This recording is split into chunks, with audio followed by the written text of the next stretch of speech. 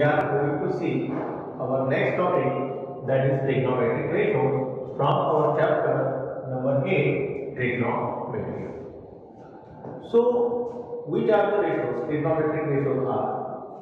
So here a one triangle PQR. So for angle P, the first trigonometric ratio it is called as the sine ratio. What the sine ratio is? The sine ratio is opposite side to hypotenuse. For angle P, this side PQ is the adjacent side and QR is the opposite side.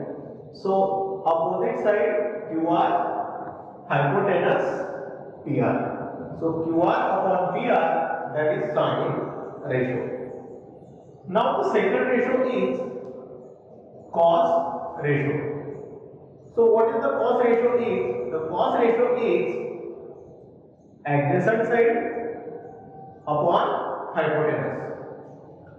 So which is the adjacent side for angle P? This PQ. So PQ upon PR.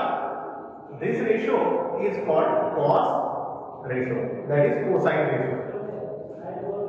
Now third ratio is tan ratio. Tan ratio is opposite side upon adjacent side. Now for angle P, the opposite side is QR, adjacent side is PQ. So hence QR upon PQ that is the tan ratio.